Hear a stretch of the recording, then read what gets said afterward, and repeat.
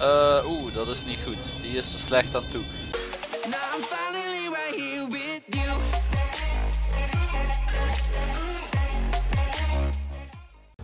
Hallo mensen, leuk jullie kijken naar deze nieuwe video. Mijn naam is GTA 5 LSPD voor en morgen. En vandaag ga ik pad met mijn collega en Wim uh, in deze huisartsenwagen. En we krijgen de eerste melding. Um, we gaan gewoon wat, wat, ja, we gaan naar die melding, maar wat er een beetje is. Huisarts rijdt normaal gesproken, um, stel jij moet naar de huisarts. En, of je, je hebt iets, een, een probleem. En dat is, je, je wilt, normaal gesproken ga je daarmee naar de huisarts. Maar als dat s'avonds is, of s'nachts, of in het weekend, en jouw huisarts werkt alleen maar van 9 tot 5, ik zeg maar iets. En dan op maandag tot en met vrijdag en niet op zaterdag, zondag of in de avond dan moet je dus wel naar de huisarts als er niet kan wachten tot de volgende dag. En dan, dan bel je dus de huisartspost van, de, van het ziekenhuis in de buurt. En die, die maken dan een inschatting van of je komt naar de huisartspost of je gaat naar de spoedeisende hulp. Dus stel je hebt een, een, ja, een de pijn aan je rug nadat je 10, uh, 10 meter uit de, van boven bent gevallen. Dan kan het sowieso zijn dat ze zeggen we laten een ambulance komen en beweeg niet verder. Of je moet in ieder geval naar de spoedeisende hulp. En stel nou, je moet, uh, je hebt nou een hoofdwond en het is niet zo ernstig, maar je zou het toch niet laten wachten tot de dag daarna. Dan kan het wel eens zijn dat ze zeggen van weet je wat, kom maar naar de huisartsenpost. Nou, stel dat. Stel jij kunt niet naar de huisartsenpost komen. Op wat voor een reden dan ook. Je bent oud, je, je, je bent een kind en je bent helemaal alleen. Dan kan het wel eens zijn dat de huisartsenwagen naar jou komt. En stel nou, tot, en dat doen oude mensen oprecht. Um, hun man of vrouw die, die valt zo bam en klaar. Ademstilstand, oftewel reanimatie. Die bellen nog wel eens de huisarts. Huisartsenpost, zo van uh, hij valt hier en hij ademt niet meer. Wat dan gebeurt is dat zij sowieso uh, gaan opstarten, dus het reanimatieprotocol gaan opstarten. De huisarts gaat daar met spoed naartoe. En ze sturen natuurlijk die twee ambulances en zo. Want ondanks dat die gewoon echt een 112 melding zou moeten zijn of totdat een 1 en 2 melding had moeten zijn, um, bellen mensen nog wel eens huisarts. Dus huisarts zie je met spoed rijden als mensen eigenlijk bellen van hey dit en dat is aan de hand. En vervolgens moet er een ambulance heen en zie je vaak dat de huisarts ook al met spoed daar naartoe rijdt. Um, dat is de informatie die ik weet. Is het niet helemaal waar? Laat het me weten in de comments. Maar laat het me wel weten als je het zelf wel weet. Maar ik geloof dat het gewoon zo is. En ik weet het ook bijna zeker. Um, Waarom rijden we nu met spoed? Nou, het was toch wel een, een melding van een hoofdwond. Uh, het, het, zacht, het klonk ernstig, laten we het daarop houden. Um, en waarom rij ik en waarom heb ik een collega mij? En waarom zie ik zo uit? Het is namelijk zo dat een huisarts, normaal gesproken, met uh, wordt, wordt vervoerd of wordt ge, gereden, zal ik maar even noemen, door een uh, hapchauffeur, huisartspostchauffeur. En die heeft wel een, gewoon een ambulance pakje aan. Alleen omdat die niet kan rijden en hij kan wel rijden via de mod. Maar ik weet niet hoe dat gaat. Dus dat ga ik liever niet doen. Dacht ik van laat ik dan maar gewoon rijden. Maar laat ik wel mijn collega erbij pakken. Een beetje voor de sfeer nog. Dus we rijden samen. Ik ben huisarts. Hij is mijn hapchauffeur. Uh, collega. En wat wordt daar allemaal van je verwacht tijdens zo'n als hapchauffeur? Dat is vooral assisteren van de huisarts de hartmonitor aansluiten of de monitor aansluiten. Controles doen, misschien medicatie klaarmaken, dingen aangeven. Um, je moet geloof ik daar minimaal een mbo 3 diploma voor hebben. En voor de rest niks. Is het op het spoor dat is niet heel handig, want er komt een trein aan.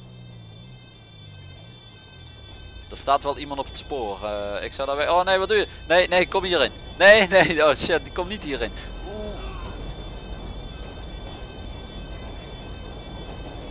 Ja, slim. Zullen we maar zeggen. Nee, want ik zei kom hierheen. Maar ik dacht dat die trein op het andere helft reed. Natuurlijk bij deze mod komt, de, uh, komt een ambulance erbij. Dus die, ja, dat, dat is gewoon niet anders. Normaal gesproken gaat de huisarts natuurlijk eerst kijken. Is het vaak gewoon een huisartsbezoek en hoeft er verder niks te gebeuren. Nu komt er automatisch een ambu bij. Gaat dat ding niet meer omhoog of zo, omdat er een persoon ligt.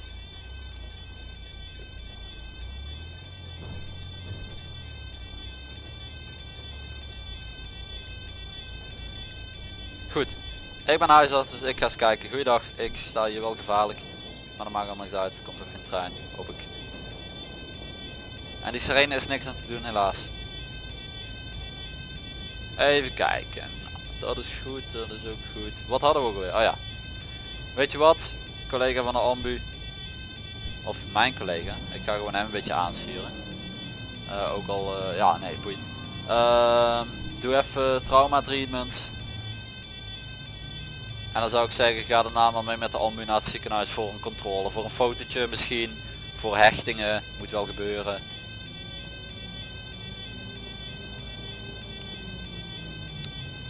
En dan kunnen wij weer verder. Um, wat, je, wat je ziet. De, de auto is trouwens nog niet gereleased. Ik durf jullie ook niet te zeggen of die gaat worden gereleased. Dus dat uh, zien jullie vanzelf wel. Of dat horen jullie vanzelf wel in de comments of zo. Um, ja, die hebben natuurlijk ook een andere striping zoals jullie zien. En waarom is dat? Omdat... Weet ik niet meer. Uh, we krijgen nu een melding. Die is bin, bij de huisartsenpost binnengekomen. Uh, van iemand die niet meer aanspreekbaar is. En ze hebben daar dus uh, de huisarts voor gebeld. Nou, de ambulance rijdt ook mee. Maar de huisarts rijdt ook.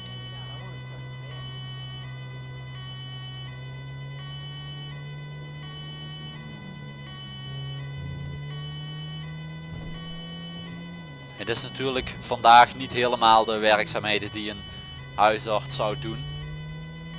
Um, dus dat, uh, dat moeten jullie mij vergeven. Maar we, we, we, maken er het beste van met z'n allen.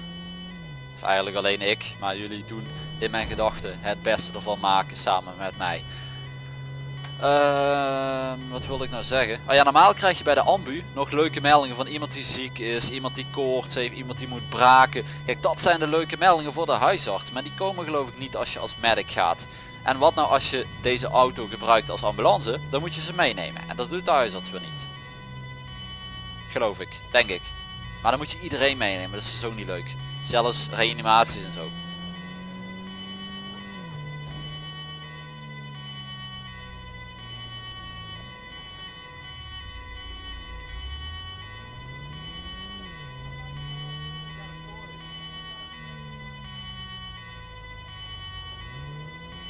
Hij is reflective zoals jullie zien. Wat betekent dat?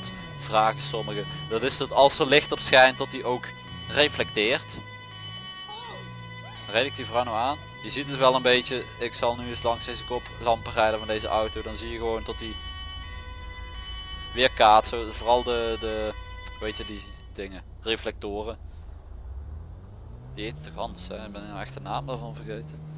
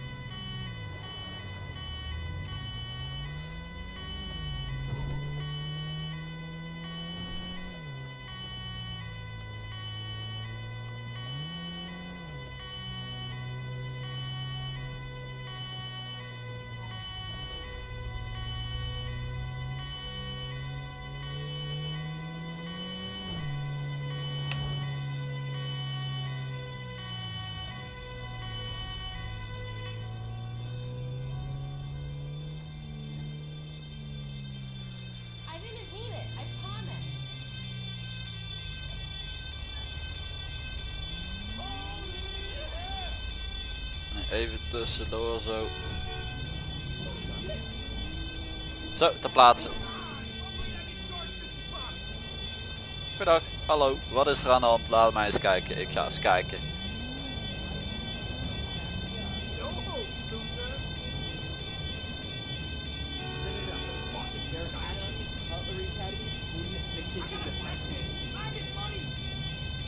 Uh, Oeh, dat is niet goed. Die is er slecht aan toe.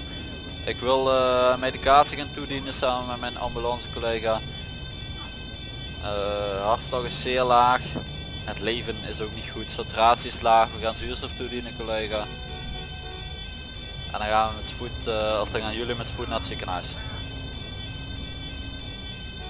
Lijkt je dat een goed plan? Dat lijkt mij in ieder geval een goed plan. Neem hem mee, neem hem mee. Hoi. Oh, wie rijdt met mijn... Hey, hallo. Hallo, hallo, kom eens hier. Nee. Die krijgt te pakken ook, weet ik zeker. Kom hier. Ik helemaal koekwous geworden, Chinees.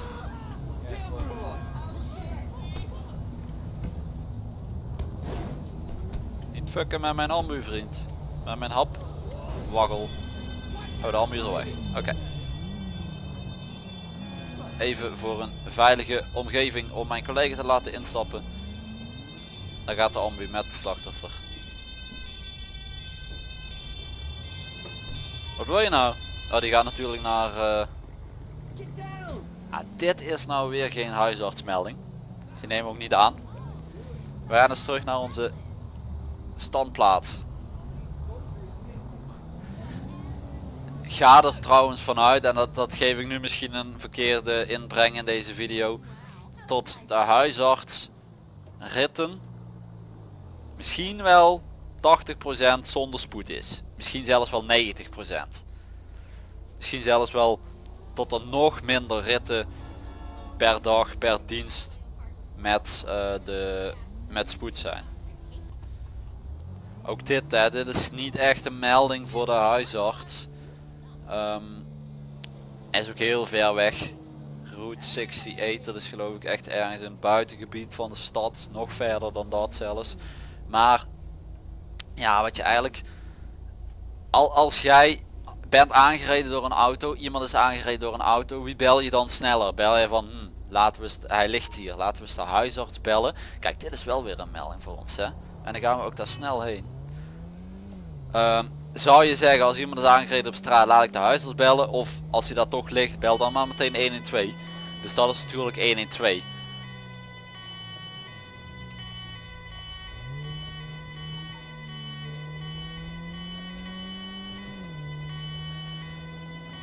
Maar dus wat ik in het begin van de dienst al zei, hè, oh, van de dienst wil ik zeggen, maar het begin van de video is dat sommige mensen dus bellen voor een reanimatie, ook al crash mijn game nu.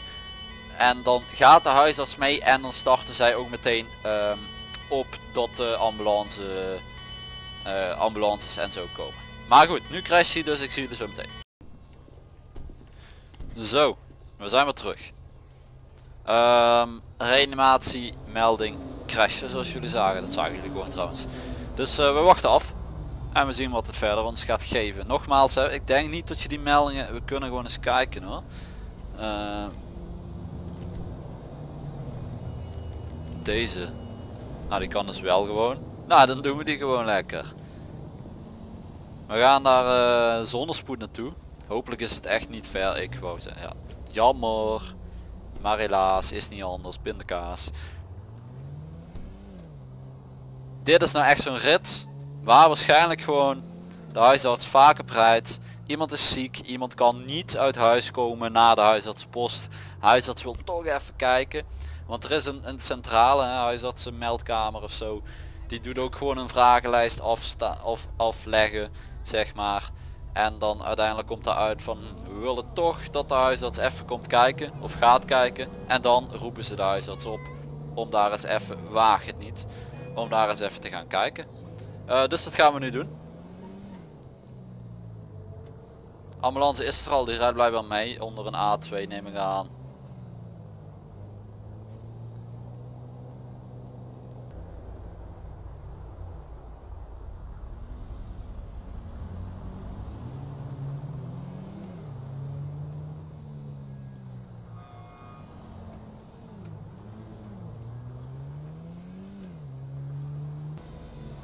Daarboven rijdt de ambulance, die is er dus ook nog niet.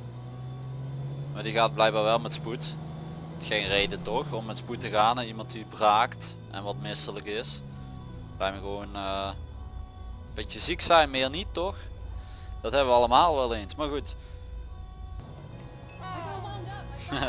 dat is altijd grappig. Dan staan ze... Ja, nou ja, ik wilde net zeggen, we gaan er stilstaan, maar ik snap het. Dan staan ze hier een beetje als prostituee uit te hangen en dan doe je gewoon één keer blauw en dan rennen ze altijd weg. Dat is grappig. Dat is leuk. Moet je vaker doen. Moet je ook eens doen. Dat is leuk man. Uh, hier zo. Wij zetten hem gewoon lekker hier neer joh. Alarmlichtjes aan, niks aan de handje. Waar is mijn collega heen gek? Is gewoon weg. Hoi.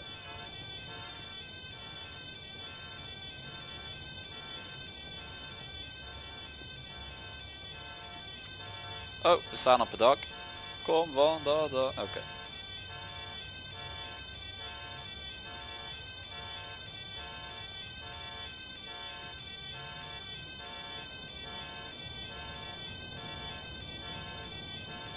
Um, even kijken. Ja, ja, ja, we geven wat medicatie.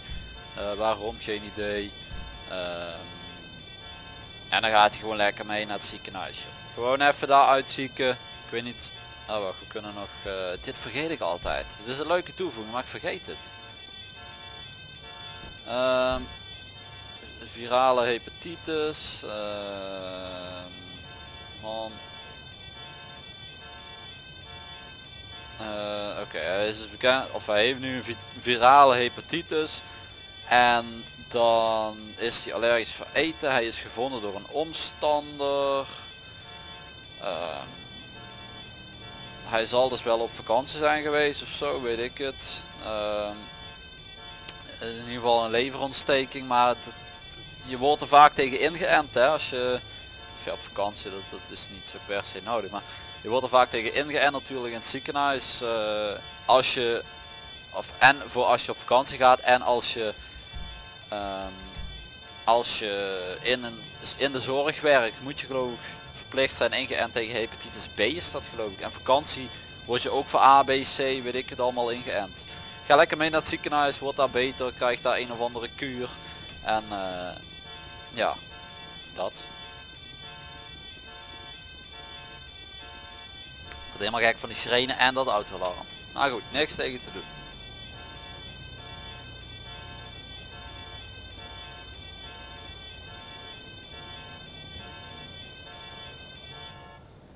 Rowan, voor als je kijkt, gave auto, alleen het Mercedes logo is uh, erg spiegelig. Gewoon echt een spiegel. Zoals je ziet. Maar goed, wel gaaf. Het wordt weer ochtend. We gaan naar de laatste melding. En die gaan we binnenkrijgen. Wanneer weet ik niet. Maar die gaan we binnenkrijgen, dat weet ik wel. Kijk, daar komt hij al. Een overdosis. Oh. Is gebeld. Huisarts moet even naar een overdosis komen kijken. En dan gaan we ook doen. Gewoon met spoed. Lekker joh. Het is vroeg. Willen mensen niet wakker maken met een sirene alleen als het moet. Dan worden ze maar wakker. Omdat deze huisarts levens zit te redden. A.k.a. Wim. Wim is gewoon alles joh. Wim is echt alles. Hondengeleider, Zulu-piloot, huisarts, brandweerman niet, ambulance, verpleegkundige, ambulancechauffeur, huisartschauffeur. Oh, alarmlichten staan eraan. Um, noodhulp, VP, motoragent. Wat nog? Wat vergeet ik nou als Wim? Boef, hij is ook boef. Hij gaat wel eens op de vlucht voor de politie. Um, Major. Ja joh. Nou, verkeerde knop. Anders had ik even lekker de sirene aangezet.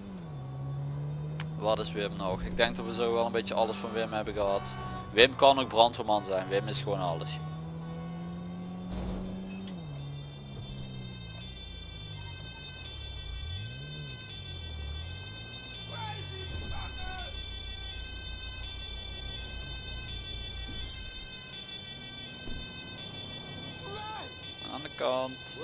Wat hadden we ook alweer voor melding? Uh, overdosis. Oh ja. Medicatie geven, zuurstof geven, alles geven en gassen naar het ziekenhuis. Wij niet, maar die ambu wel. We gaan nu.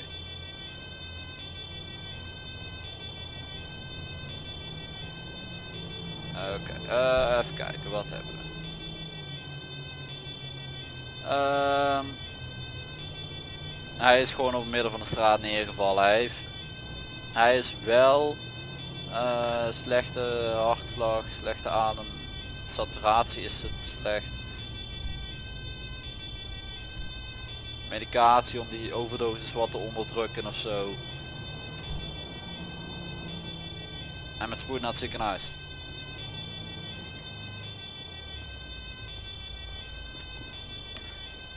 Voor de mensen die nog niet door hadden. Het is eigenlijk gewoon precies wat je ook als rapid niet als huisarts zijn, maar in deze mod doen we gewoon precies hetzelfde als rapid responder. Um, dus ja.